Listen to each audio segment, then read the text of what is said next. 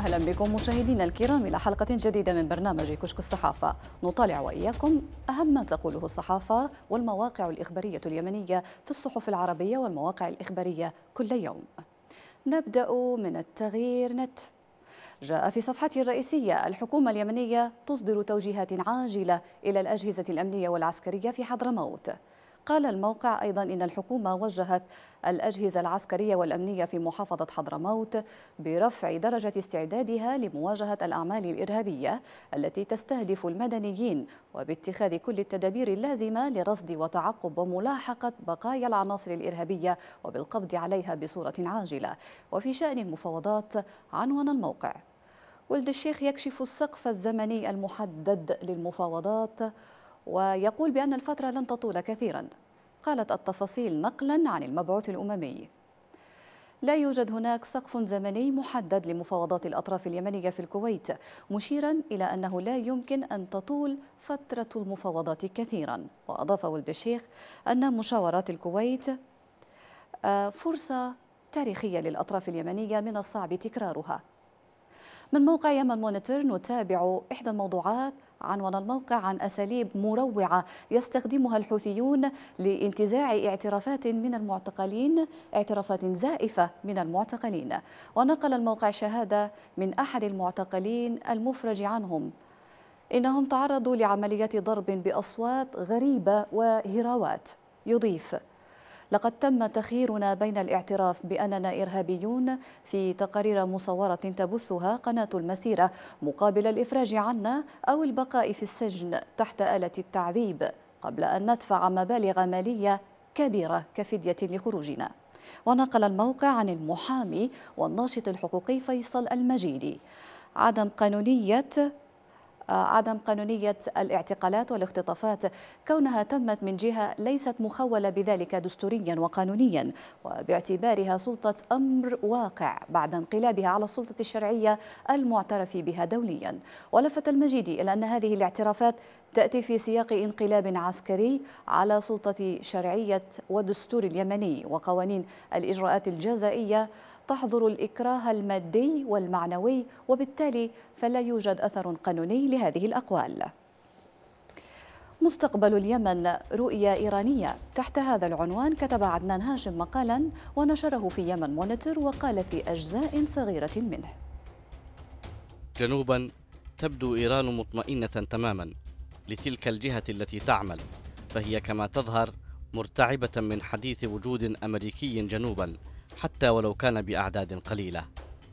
فحتى لو حدث انفصال ستعود ميليشياتها التي تدربت على يد الحرس الثوري في إيران وفي الضاحية الجنوبية للبنان حتى ولو كانت تعمل الآن بمعية إحدى دول التحالف العربي ومظهرة تفاعلا وولاء منقطعا لها. فعلاقة إيران بتلك الميليشيات ورموزها التحررية مرتبط منذ ثمانينات القرن الماضي عندما وقفت تلك الرموز مع النظام الإيراني وزودته بالنفط لمواجهة صدام حسين وهو ما تبادله طهران برد الجميل والذي ظهر سريعا بفتح السفارة الإيرانية في عدن لأحد أطراف الحرب الأهلية عام 1986 وما زالت تلك العلاقة نقية ومستمرة.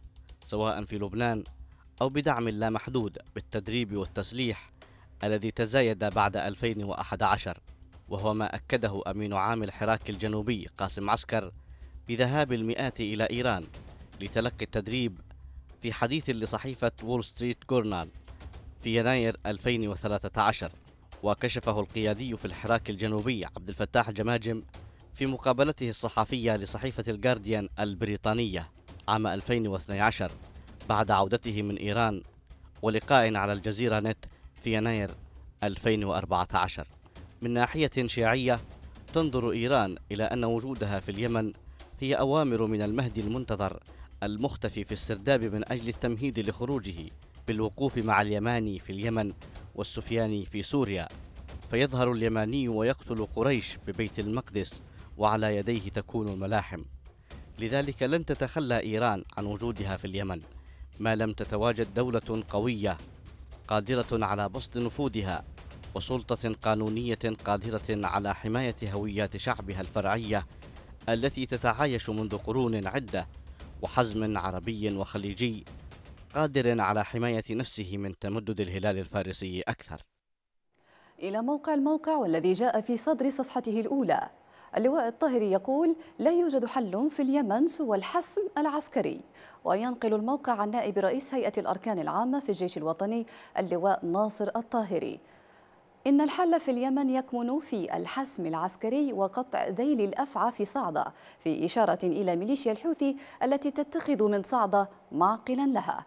واستبعد الطاهري جدوى التحاور والتفاوض مع ميليشيا الحوثي مؤكدا أن الخيار العسكري واستخدام القوة في إخضاعها وانتزاع السلاح منها هو الأجدى لحسم الوضع معها كاشفا بأن هذا الأمر تم طرحه لقيادات التحالف العربي ومناقشتهم بذلك. وأشار الطاهري إلى إلى عدم التزام الميليشيا بالاتفاقات التي تبرم معها وكشف بأن الميليشيا وقعت على 12 بندا في الحرب الرابعة و14 بندا في الحرب الخامسة و16 بندا في الحرب السادسة لكنها لم تنفذ أي بند من كل تلك الاتفاقات.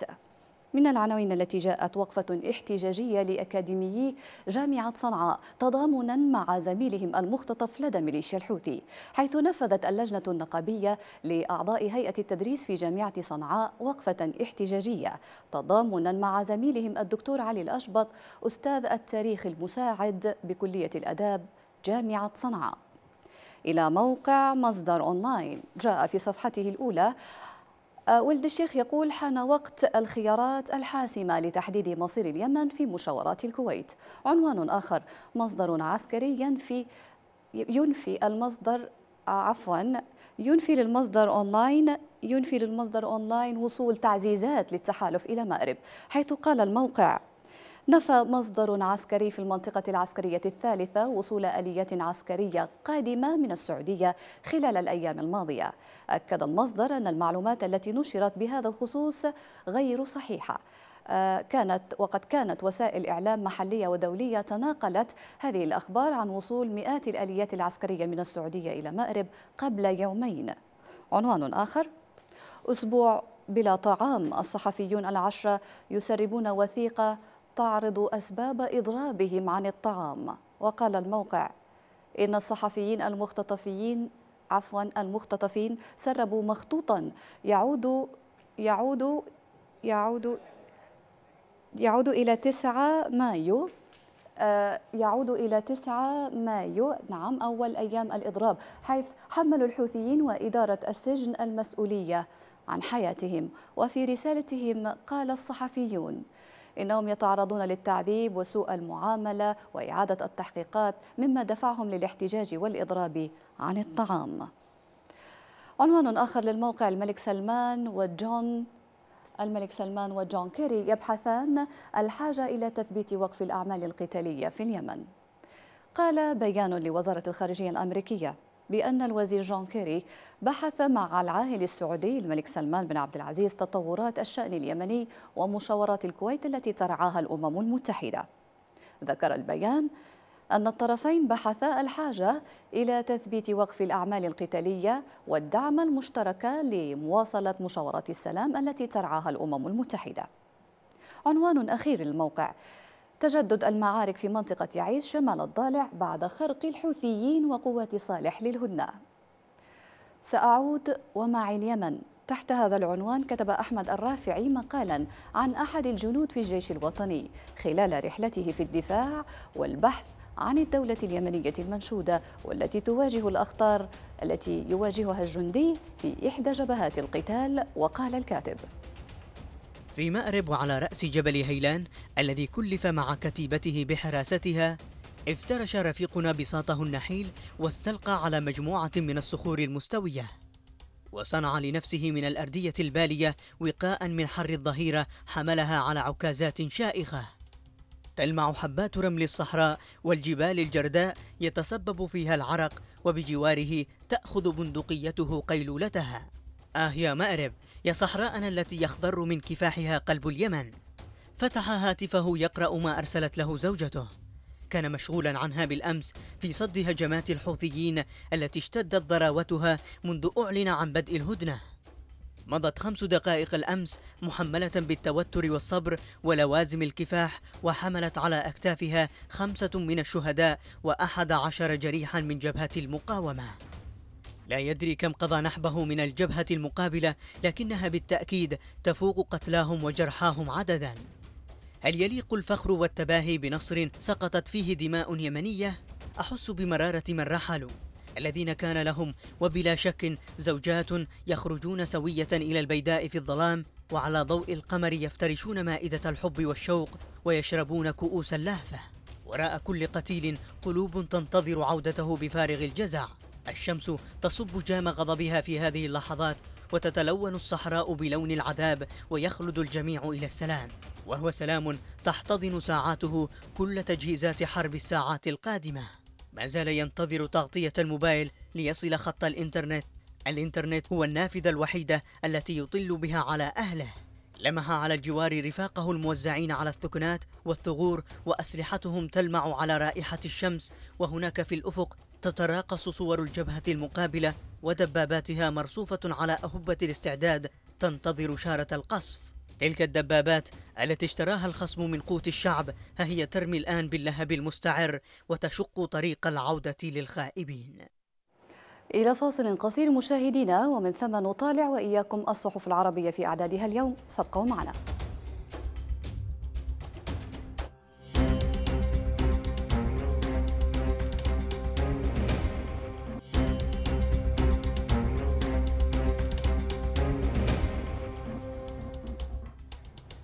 مستمرون معكم في كشك الصحافة مشاهدينا نصحبكم بجولة الصحافة العربية في أعدادها اليوم البداية من الصحف الكويتية. قالت صحيفة الرأي. ولد الشيخ يقول آه ولد الشيخ لليمنيين يقول المشاورات فرصة لن تتكرر ومحكمة التاريخ لن ترحم. وزير الخارجية الكويتي التقى بالوفد الحكومي ونائبه التقى بالحوثي صالح. تقول الصحيفة الكويتية نقلا عن المبعوث الأممي ولد الشيخ. إن مشاورة السلام اليمنية في الكويت مستمرة مؤكدا أن الأمم المتحدة والمجتمع الدولي ودولة الكويت يضعون كل الدعم السياسي واللوجستي والدبلوماسي لمساعدة الأطراف اليمنية في مشاورات السلام على التوصل لاتفاق سلام يضع حدا للصراع الدائر في اليمن ولفت إلى أنه تم وضع هيكلية عملية ضمن إطار استراتيجي لحفظ الأمن وإعادة اليمن إلى عملية الانتقال السياسي السلمي. هناك اتفاق على نقاط محددة ولا شك أن التطبيق يتطلب الكثير من التمعن والتخطيط وتبقى الضمانات هي سيدة الموقف.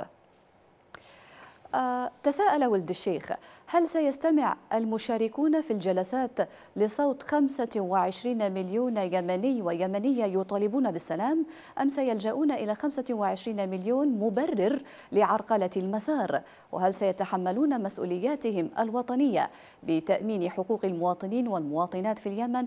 أم سيعمدون إلى إبقاء الحال على ما هو عليه؟ مؤكدا أيضا أن المرحلة دقيقة وحان وقت الخيارات الحاسمة وتحديد مصير البلاد. إلى صحيفة البيان عنونت الشرعية تنفي الموافقة على حكومه على حكومة مع الانقلابيين وتقول الصحيفة مصدر مسؤول في الوفد الحكومي ينفي حدوث أي توافق مع وفد الميليشيات الانقلابية لتشكيل حكومة توافقية. وتنتقل الصحيفة للحديث عن المبعوث الأممي لليمن والذي أكد أن الأيام المقبلة مصيرية لليمن ومشاورات السلام اليمنية مستمرة.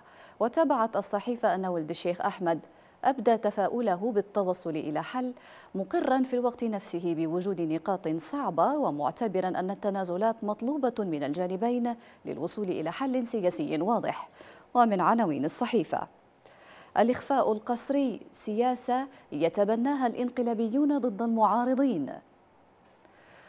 صار ضروريا إنقاذ مفاوضات اليمن وتحت هذا العنوان كتب غانم النجار مقالا في الجريدة الكويتية وقال الكاتب مضى أكثر من شهر على بدء المفاوضات اليمنية في الكويت وحسنا فعلت الكويت باستضافتها المفاوضات فعلاقتها باليمن خاصة جدا. وتحركها على أعلى مستوى له دلالاته الطيبة. وفي كل الأحوال سواء نجحت المفاوضات أو تعثرت فالكويت تضيف إلى رصيدها إضافة مهمة ليست جديدة عليها. والشهر في حسابات التفاوض الصعبة مدة ليست طويلة. طول المدة أو قصرها لا يقاس بالرغبات والاتهامات المتبادلة إعلاميا. فمن يصغي إليها لن ينتهي إلا إلى الإحباط. المدة تقاس بالإنجاز على صعيد مسارات التفاوض وانعكاساتها على الأرض. وفي هذا المعيار فإن المدة معقولة ولكنها بحاجة إلى ضخ المزيد من دماء الإنجازات. حتى اللحظة وبعد مضي أكثر من شهر في لقاء بين أطراف لا تثق ببعضها تم ترتيب وقفة لإطلاق النار وتحديد معالم إطار التفاوض.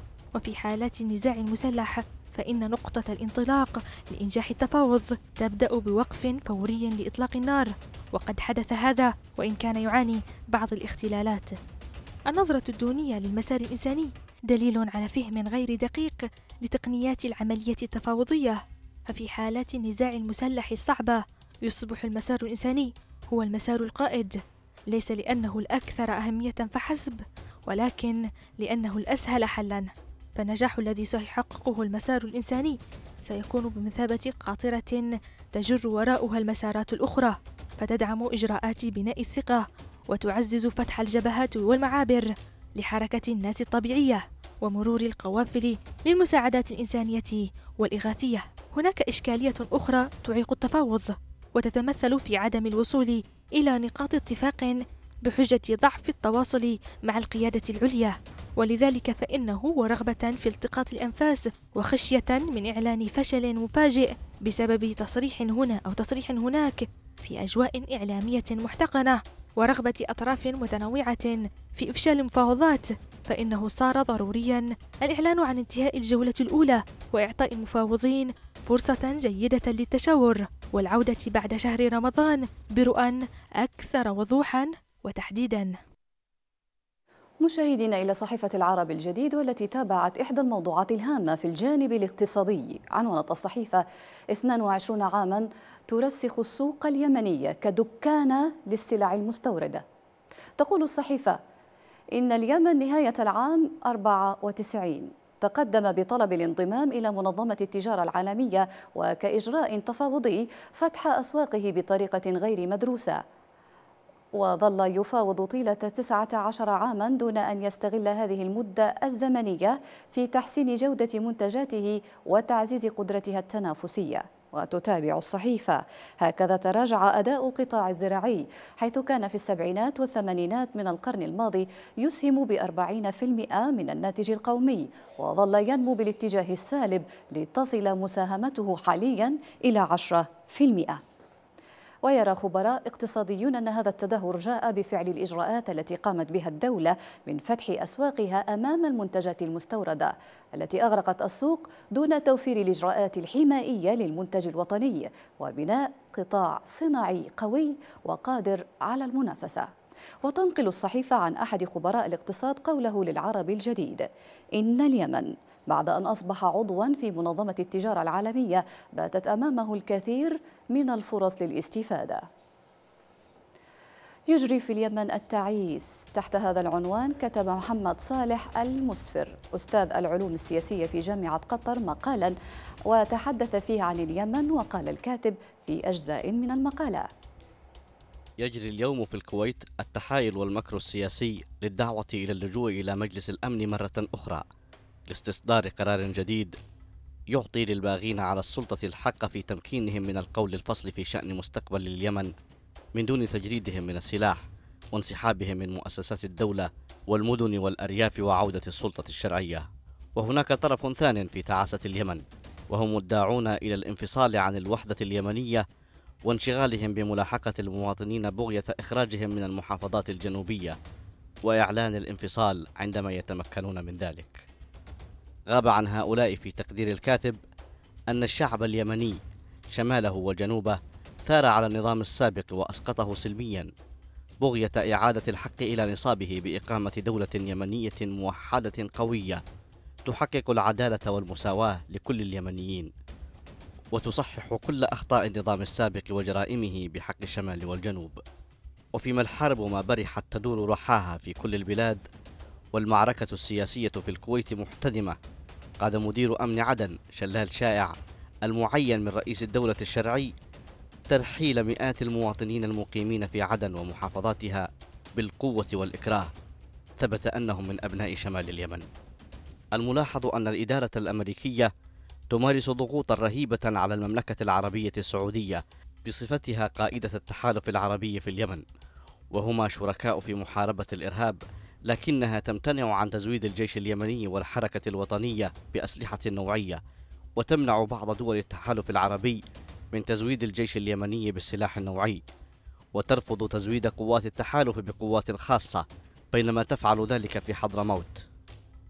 كنت وما برحت أدعو إلى تكثيف الأعمال العسكرية من التحالف العربي بهدف تحرير تعز وبقية المحافظات التي ما زالت تحت نفوذ التحالف الثنائي.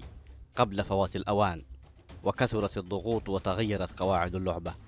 خسرنا العراق وخسرنا سوريا بأسباب التردد والتأني. وأخشى أن نخسر اليمن ونكون بين فكي الكماشة من الشمال والشرق ومن الجنوب. وكما عودناكم مشاهدينا فقرة الكاريكاتير فلنشاهد سويا ما رسمت الفرش السياسية اليوم.